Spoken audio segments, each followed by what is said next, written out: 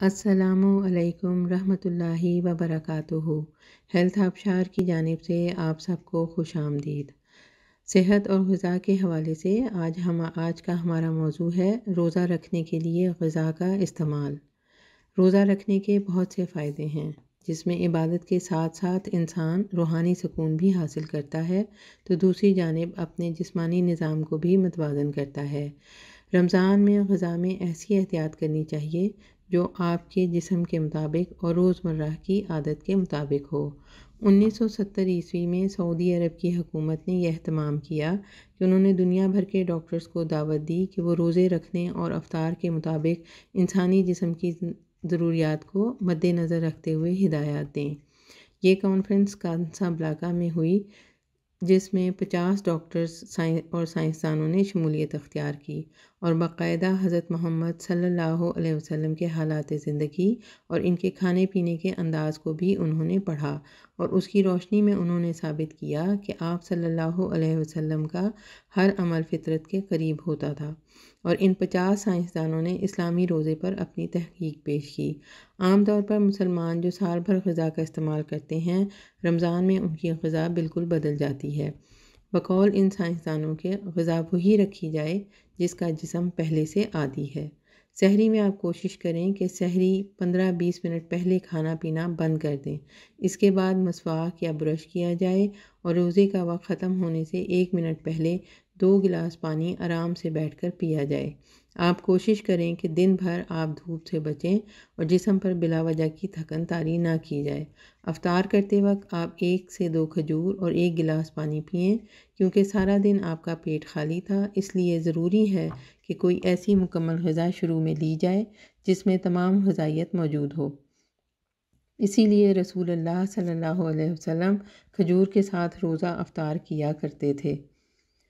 फिर साइंसदान कहते हैं कि मुसलमान नमाज़ अदा करें, मगरिब की नमाज़ के बाद फल वगैरह का इस्तेमाल करें, तली हुई चीज़ें बिल्कुल ना खाएँ और रोज़े ने जो आपको तरबियत दी है, सब्र तहमुल की, आप खाने पीने में भी इसका ध्यान रखें।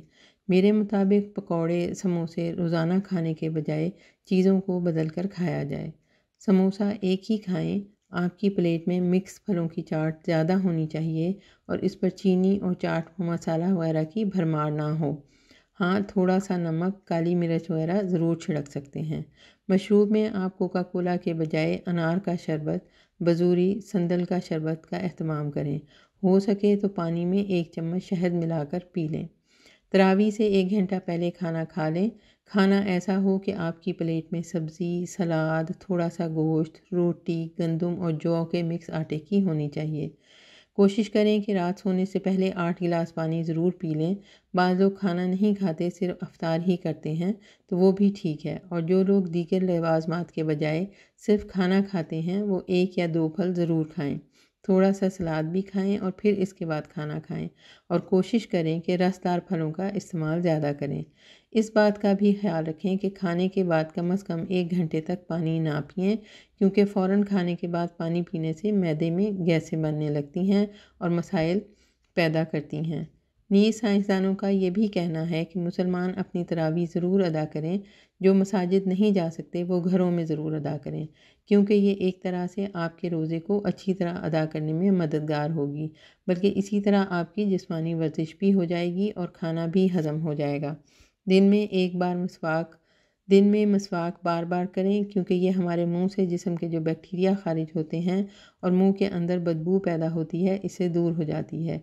इसलिए इस तरह करने से आपके जिसम की सफ़ाई हो जाती है। अगर आपको कमज़ोरी महसूस हो तो अच्छे विटामिन की गोलियाँ डॉक्टर से लिखवा लें और इसकी हिदायत के मुताबिक अमल करें।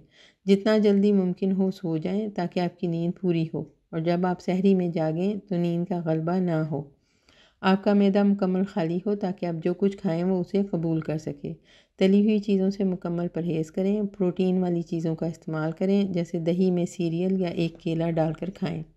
मुख्तलिफ़ किस्म के बीज और दालें वगैरह इस्तेमाल करें।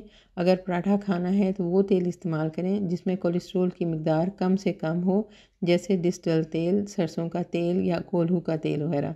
जैतून के तेल में भी अगर पराठा बनाना है तो हल्की आँच पर पकाएँ, ताकि तेल की गजाइत कायम रहे। सहरी में अगर गेहूँ और जौ के आटे को मिक्स करके रोटी पकाएँ तो ज़्यादा अच्छा है। हर दस दिन के बाद अपना वज़न चेक करें। अगर वज़न बढ़ रहा है तो अपनी सहरी और अफ्तार पर गौर करें कि कहाँ गलती कम कर रहे हैं। और अगर वज़न कम हो रहा है तो इसका मतलब है आपको रोज़े के ज़्यादा से ज़्यादा फ़जाए फ़वाद मिल रहे हैं।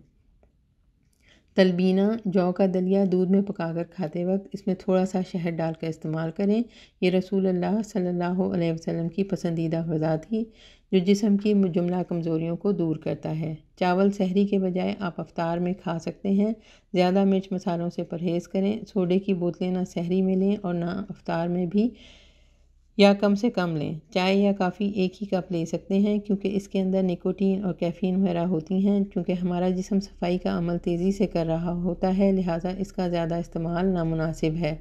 सहरी खाते ही सोना नहीं चाहिए। डॉक्टर्स के मुताबिक खाना खाने के बाद छोटी सी चहलकदमी ज़रूर करनी चाहिए। नमाज़ पढ़ें, तिलावत करें, इसके बाद आप सो सकते हैं। साइंसदानों ने एक तहकीक के बाद बताया, जो लोग नमाज़ के अलावा नवाफिल का भी अहतमाम कर रहे थे, उन्हें वर्जिश की ज़रूरत नहीं पड़ी। रोज़े को जो फ़ायदे होने चाहिए थे, वो उन्हें पूरे मिल रहे थे और इनकी मुख्तलिफ़ बीमारियों में इन्हें इसके फ़ायदे भी पहुँचे थे, जबकि ईसाई और यहूदी रोज़े तो रखते थे, लेकिन उनको रोज़े के बाद वर्जिश की ज़रूरत पड़ी। ब्लड प्रेशर के बारे में वो कहते हैं कि हाई ब्लड प्रेशर और कोलेस्ट्रोल को काबू रखने के लिए रोज़े से बढ़कर कोई दवा नहीं। साइंसदानों के मुताबिक, जैसा कि रसूल अल्लाह सल्लल्लाहु अलैहि वसल्लम ने झूठ बोलने से मना फरमाया है, वो कहते हैं कि रोज़े के दौरान जो शख्स झूठ बोलता है तो जिसम के अंदर एक ऐसा ग्लैंड है जिसके केमिकल का एक कतरा गिरता है और वो पूरे खून को आलूदा कर देता है। ये रोज़े के दौरान ऐसा है कि जिसम के तमाम निज़ाम को ख़राब कर देता है, जबकि आप जिस्मानी निज़ाम की सफ़ाई के अमल में मसरूफ़ हैं।